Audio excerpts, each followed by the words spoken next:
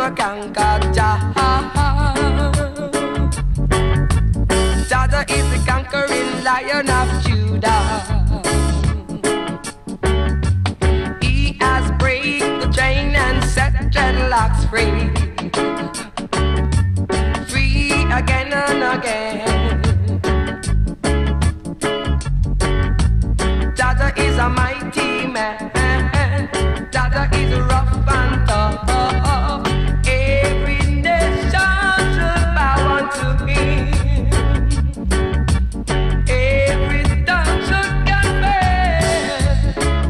is a mighty